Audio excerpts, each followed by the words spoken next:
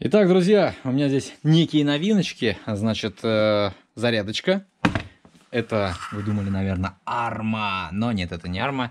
Посмотрим. С Бенгуда такая тачка.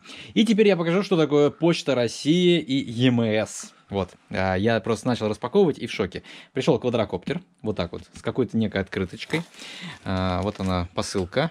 А, Внуково. Здесь все дела. Почта России.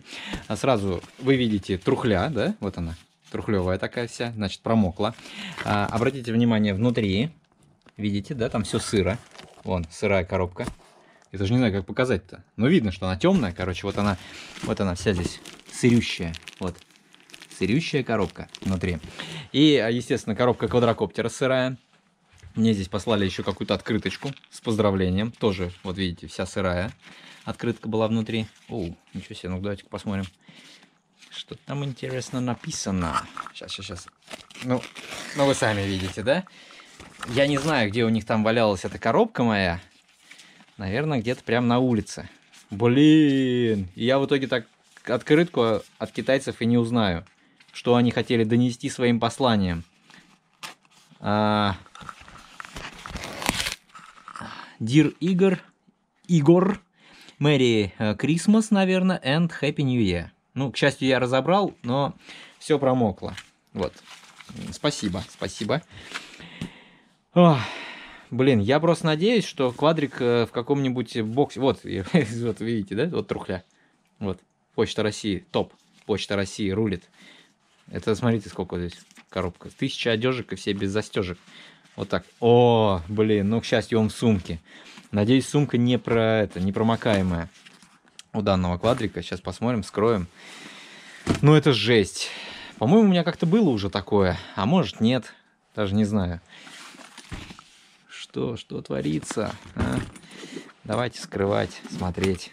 Но я думаю, все в порядке. Обычно эти сумки, э, ну, не, не, пусть не влагозащищенная, но в любом случае под змейкой закрыто нормально. А здесь что у нас? Здесь кармашек открытый. Так. Жук. Ну, вроде все норм. Да.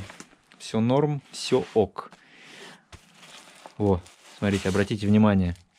Сыро. Но, к счастью, он в этом, в пакетике. И вот квадрик был бы в пакете, было бы еще лучше. Ну, вроде ничего. Нормально. Вот, видите, следы есть вот сырые. Вот она, вода. Где-то здесь была зарядка. Но нет, в целом нормально. Блин, хорошо. Просто если бы он был в коробке еще, и та бы коробка тоже превратилась бы в трухлю, так сказать. И в итоге бы квадрик весь промок. Но вроде ничего, даже вот это вот, смотрите, бумажечка, ну да, сухая.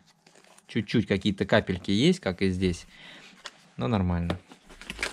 Так что, друзья мои, никакого хорошего отзыва о Почте России оставить не могу. Вот, а ждите обзорчик скоро на вот такой вот квадрокоптер. Блин, оранжевый цвет вообще топ. Топовый, топовый цвет. Класс. Чух. А, еще показать что-нибудь. И еще вот что пришло. Вертолеты и чай. Тоже полетаем. Прикольно. Ну, интересно иногда на вертиках полетать. А, еще что-нибудь показать? А, вот еще квадрик пришел. А, квадрик пришел. Причем вот этот квадрик пришел прямо вот так вот. Сейчас, давайте откроем. Ох ты!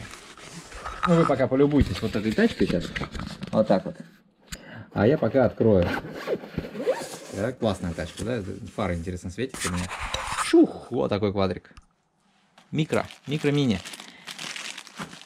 Мини-микро-мавик. По-моему, он стоит что-то там вообще копейки, буквально, наверное, 3000 рублей. Посмотрим, полетаем. Так что ждите обзоры. Да, но с квадриками тяжело сейчас. Сейчас погода вообще нелетная, ветра сильные, э, снегопадище, поэтому буду ловить погоду. А может вот такая мелкота вообще как бы по весне, когда солнышко выйдет. Да вообще квадрики лучше, конечно, по весне, когда солнышко выйдет, чтобы э, красивую картинку наблюдать, а не серые, хмурые будни нашей России. Пока!